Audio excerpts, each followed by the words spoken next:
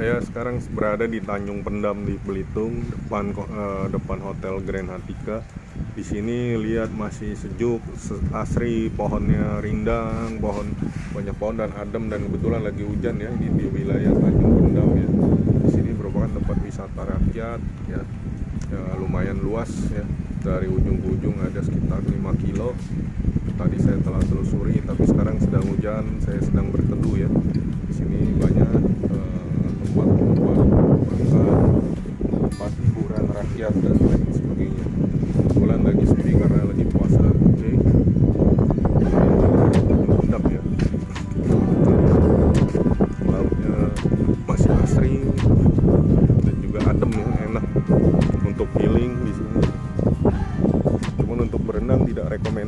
Karena lautnya? Agak ke dalam ya. Pinggir pantainya agak kotor dan lautnya uh, laut dalam. Tidak direkomendasi lagi bagi pendam oke lokasi suasana hujan gerimis ya. Lokasi saya berada di wilayah Tanjung Pendam. Ada seekor anjing liar dilepas di sini di Tanjung Pendam tidak apa tidak apa-apa. Warga di sini tidak mengganggu anjing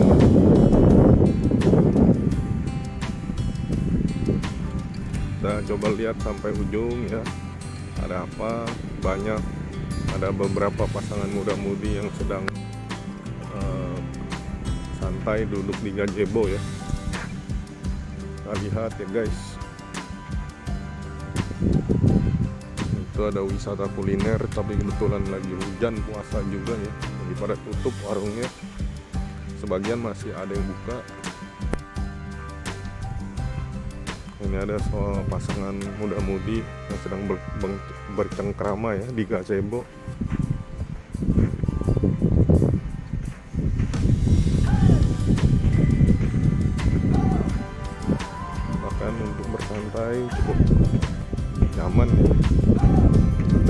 datang ke sini khusus tidur di gazebo karena suasananya begitu asri sejuk dan adem.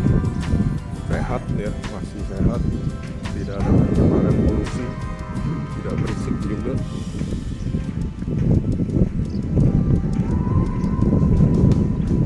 Ini ada bapak-bapak sedang santai tidur di gazebo ya kita lihat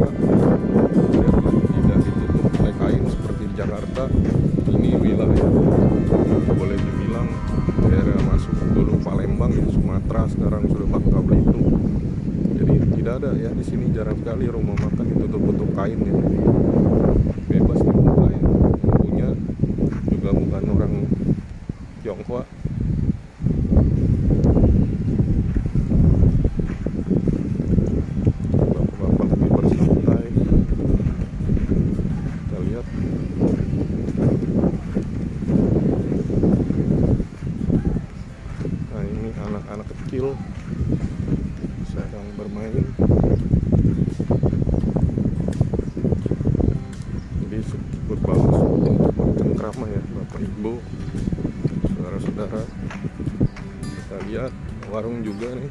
Sop iga bakso tekwan itu ditutup kain ya di sini.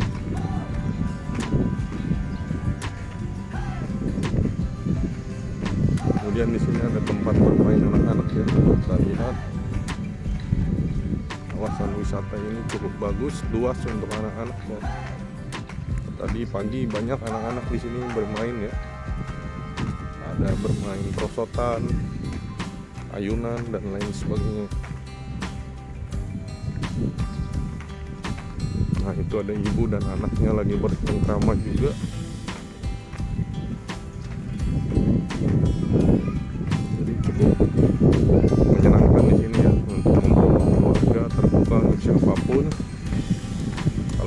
kendaraan masuk Rp3.000 saja tapi kalau tidak pakai kendaraan kita tidak bayar sama sekali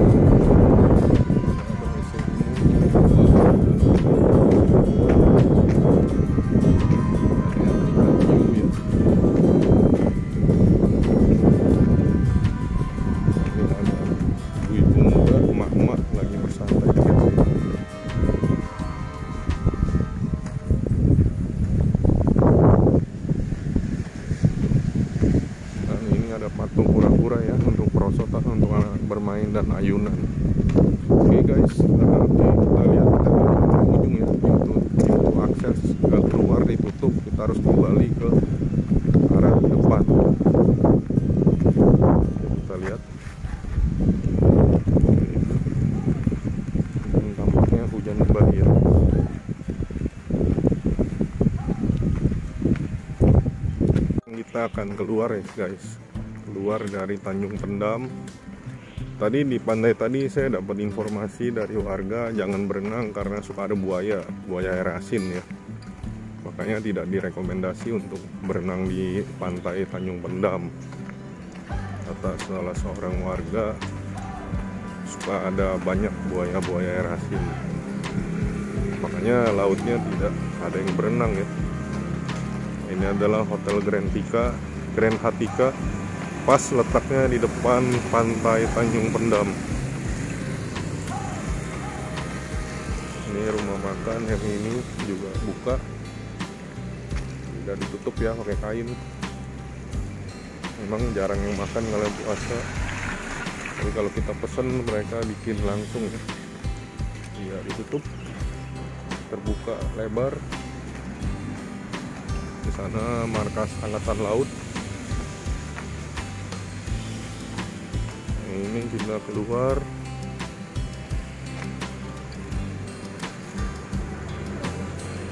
Adem suasananya asri sepi. Kalau ke Satam Square pusat kota masih cukup jauh kalau jalan kaki karena berhubung gerimis lain waktu saya akan ke sana. Lumayan ke alun-alun Satam Square masih cukup jauh ya.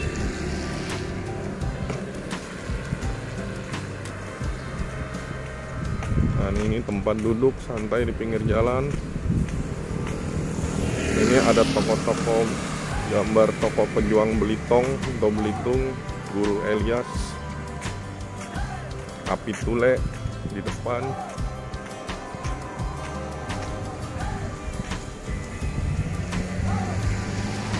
lihat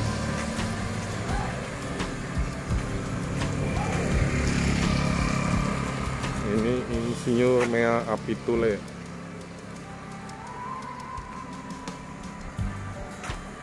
Kita lihat sepanjang jalan ini masih di luar Tanjung Pendam ya. Trotoarnya tertata rapi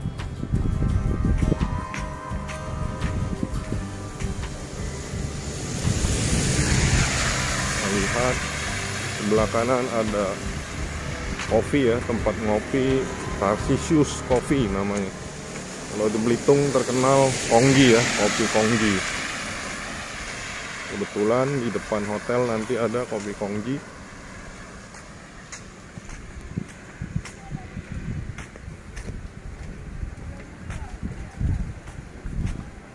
Sana ada kantin roda pedati ini juga kafe buka ya nggak tutup. Tidak ditutup juga pakai kain. Semua buka.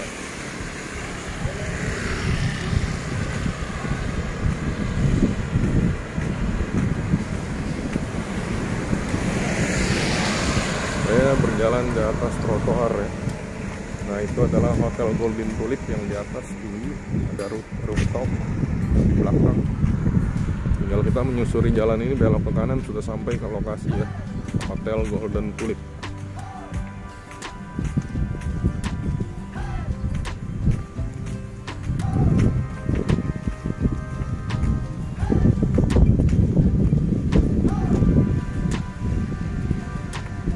Berjalan menyusuri trotoar ya yang tertata rapi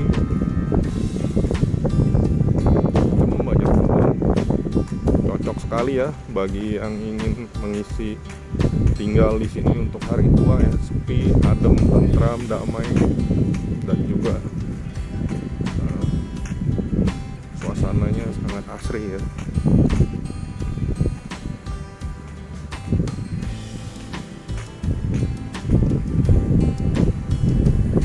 Ini yang tadi ya lokasi tadi sebelah kiri kita sudah berada di luar ya kalau mau ke museum ke arah belok kanan museum ke kiri pantai Tanjung Tinggi masih cukup jauh.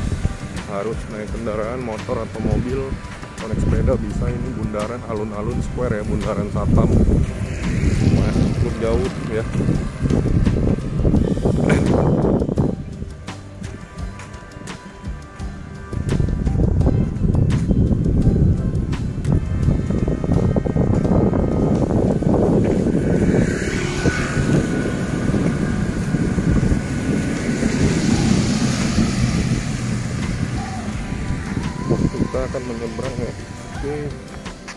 akan menyeberang.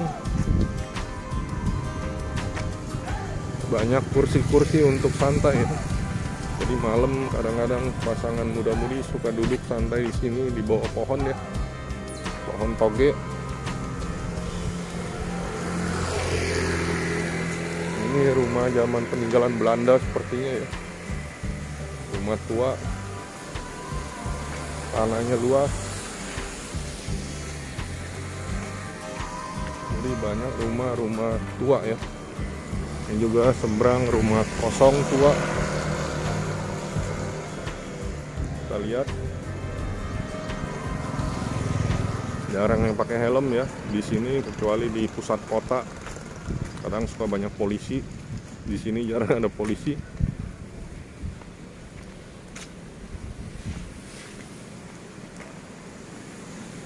Nah ini hotel Golden Tulip ya. Nah ini rumah tua, ini ada logo Pancasila, sepertinya bekas gedung penjajahan zaman kolonial ya, Belanda. Ini rumah tua, kayak rumah pejabat Belanda sepertinya.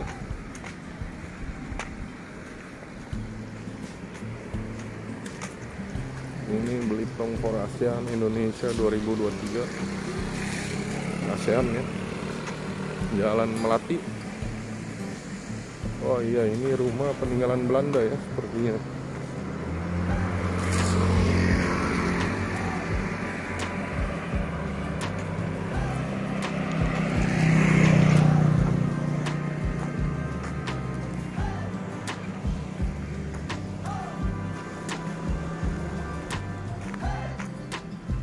Ini bukan museum ya, tapi rumah seperti zaman peninggalan Belanda milik pemerintah Belitung, Kabupaten Belitung rumahnya. Di seberang ada cafe Restowem, kemudian ada gereja Katolik ya, di mana banyak pendatang yang suka kebaktian di gereja ini. Biasanya setiap hari Minggu pendatang dari Medan, dari Flores tadi banyak ya mengikuti ibadah misa di gereja Katolik ini. Nah, ini adalah Hotel Golden Tulip. Ini es krim dan pusat kafe. Oke. Kelurahan Parit, Geopark Belitung Center. Kalau kita mau ke Geopark sebelah kanan ya tapi karena suasananya masih mendung dan mau hujan saya kembali dulu istirahat. Oke, terima kasih